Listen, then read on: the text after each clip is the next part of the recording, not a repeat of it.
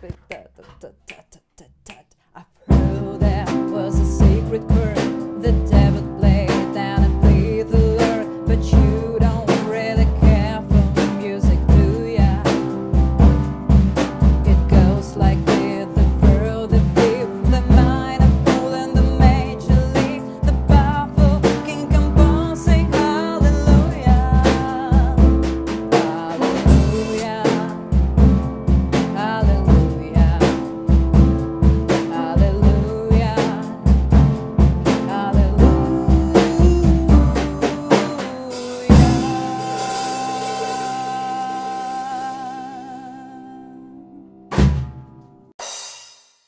привет!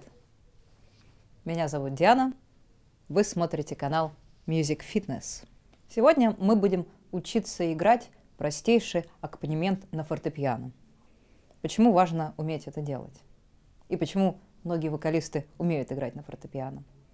Потому что, когда ты сам можешь сыграть гармонию песни на фортепиано, тебе легче импровизировать, и ты разговариваешь с музыкантами на одном языке. В этом уроке примет участие мой коллега, который до этого никогда не играл на фортепиано. Если вы хотите научиться играть по вот таким вот цифровкам, для начала вам нужно выучить буквенные обозначения аккордов. На самом деле в этом нет ничего сложного. Каждой ноте соответствует буква английского алфавита. И располагаются они так. Начиная от нотки ля. A, B, C, D, E, F, G и снова A. Угу. Попробуй. Так. Сыграть теперь все эти нотки. Можно сесть, да, чуть поближе, как тебе удобно. A, B,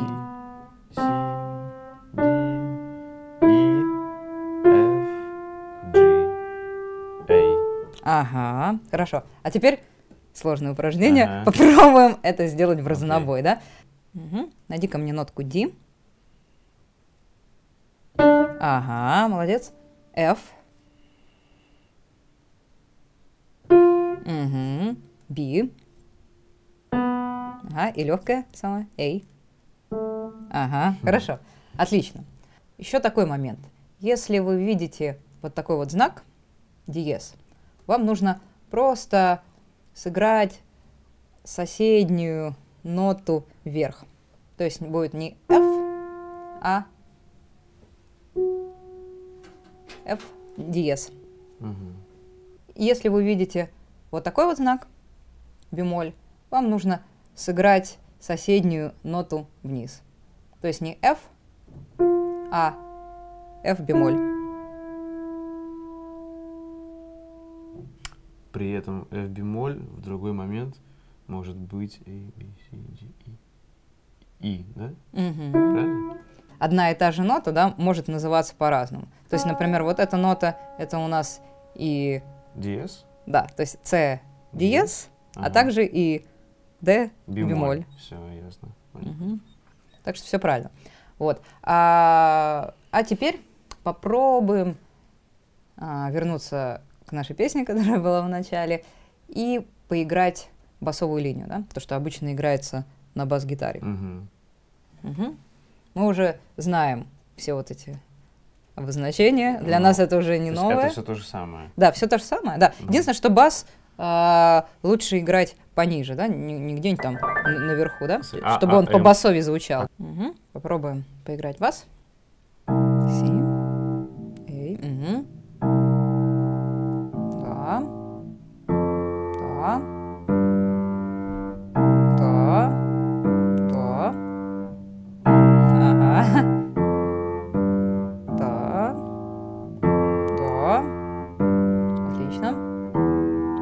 Да. Отлично. И теперь а, весь вопрос в практике, да? Нужно просто искать разные цифровки в интернете, да? Ну, это сделать легко, просто в поиске набрать название песни и chords, да?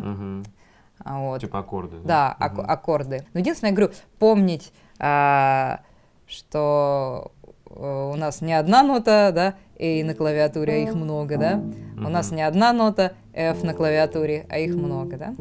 И стараться, а, ну, не, не- так сказать, не утыкаться в одни и те же расположения, в одни и те же, да, последовательности нот, а пробовать играть в разных местах, да, Мгм. разные ноты. Также, друзья, можете сразу попробовать петь под басовую линию. И это вам уже здорово поможет в вокале.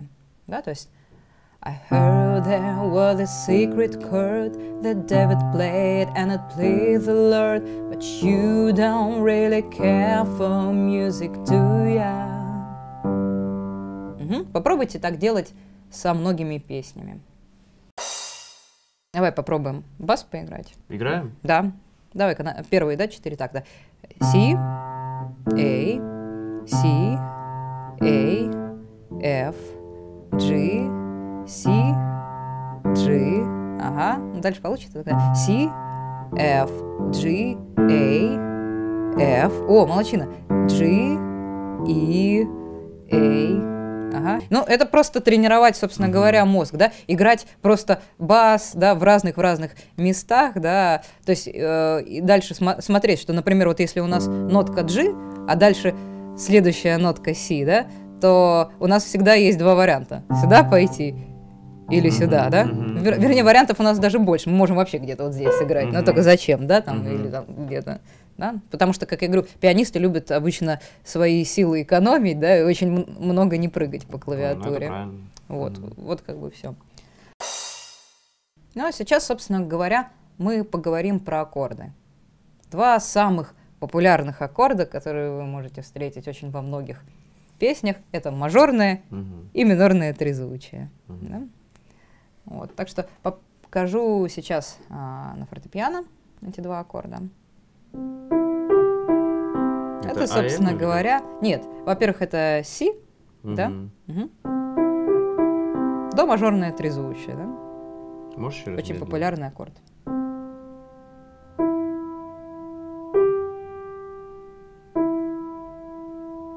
Мгм. На самом деле, вот э, многие вот так вот считают. То, что один полутончик, второй полутончик, третий полутончик, четвертый. И вот мы нашли второй звук, да? Четыре полутончика. Один, два, три, четыре. Да? А здесь будет три полутончика, да? Так мы можем найти третий звук. Один, второй, третий. Мгм. Если честно, я не понял нифига. Вот то, что ты А про так полутончики говорил. Вот это я понял, А ты- смотри. Сейчас. Вот я понял. Ну, Смотри, про полутончик это, это минимальный интервал, это минимальное расстояние до следующей нотки. И Мгм. вот таких будет четыре. Но, честно говоря, вообще-то я не советую так считать, но многие так считают. Вот. А, а- а как бы одна ступенька, вторая ступенька, третья, четвертая. И вот мы Между ними пришли. четыре. Да, четыре полутончика, да? Мгм. А здесь три полутончика.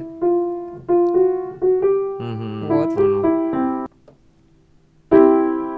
Да, и это, кстати, первый аккорд нашей песни. Хорошо. А, а теперь а, попробуем а, сыграть минорное трезвучие от этой же нотки, да? Здесь будет, ну, практически все то же самое. Вот эта вот нотка, да, верхняя, она остается на месте, да? Вот эта вторая нотка меняется. То есть. Ага, не-не-не. Вот Ой. это на месте у нас оставалось, да. И вот это минорное трезвучие. Нужно как минимум запомнить их э, звучание, да, вот как, как они различаются. Было так, Мгм, что так. да. Да. Вот. И тоже можно считать вот этими вот э, полутонами, но это не очень просто. Вот. Но тем не менее, да? Один полутончик, второй, третий, да? И вот мы пришли к- во второй звук трезвучия, да? Один полутончик, второй, третий, четвертый, и вот мы нашли третий звук.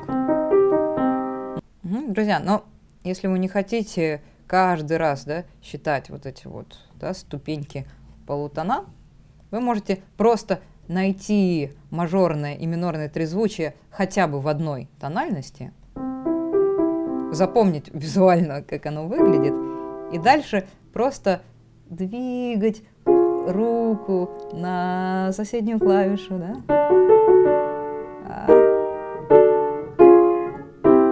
Если вы будете играть вот такое вот упражнение, да, ваши руки сами выучат э, да, все трезвучия, все их расположения на фортепиано. Так, еще раз попробуем. Да, возьми до мажорное трезвучие, си. Да? Угу. Хорошо. И теперь а, попробуй, да, все пальцы подвинуть на соседние звуки вверх, да, как бы сползти, да. Единственное, я говорю, обращай внимание, что некоторые из звуков будут чер на черные клавиши попадать, некоторые на белые. Да, отлично. Угу. А еще подвинуть вправо все немножечко на соседние звуки. Во, отлично. А теперь давай вниз, вернись на полтончика вниз, на соседние звуки. Во, отлично. И наш первый аккорд. Ну, поначалу, да, это может быть не, не mm-hmm. так просто. Я понял, как будто да. соскальзывают пальцы. Да, просто соскальзывают, да. Говорю, mm-hmm. просто единственное, говорю, все время вот контролируйте, а, да, контролируйте по слуху и смотрите визуально, да. Действительно ли вы на соседний звук сдвинули, или вы нечаянно, да, перескочили, да, через mm-hmm. два звука, да, mm-hmm. или куда-нибудь. Угу, хорошо. И вот э, играйте тоже такое вот упражнение, чтобы э, потом быстро находить все-все-все аккордики, да? Угу, хорошо. А теперь мы попробуем, э, собственно говоря, поиграть аккорды нашей песни.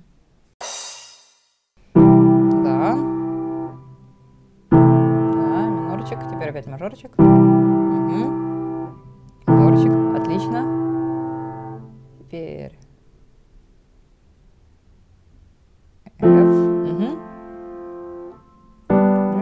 Ага. Хорошо. И...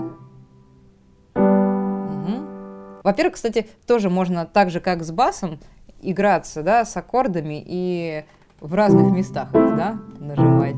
То есть, то есть вот мы берем первый аккорд песни, да, дальше мы должны иметь в виду тоже, что у нас есть выбор. Мы можем пойти сюда, угу. а можем пойти сюда. Угу. Да, попро- просто потренироваться, да, поиграться, там, в разных тесситурах поиграть разные аккорды, да? И все время надо не забывать еще, не только вот, то есть, вот это вот считать, как правильно, но и слушать, да, запоминать на слух. Да, естественно, ну, слух нам угу. поможет, собственно говоря, он скажет, э, что-то да. мы не то взяли, угу, может быть такое или не может быть.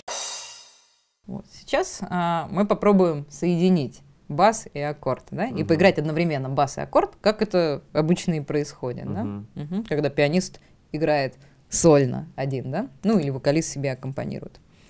I've heard there was a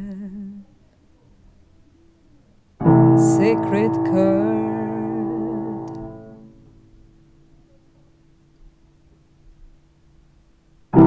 that devil played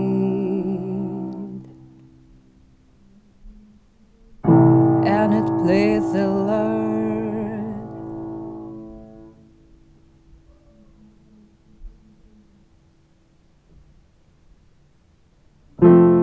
But you don't really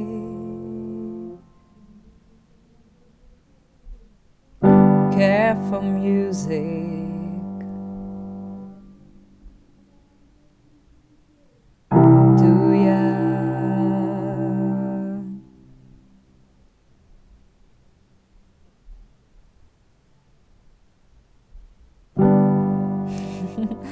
Да, есть.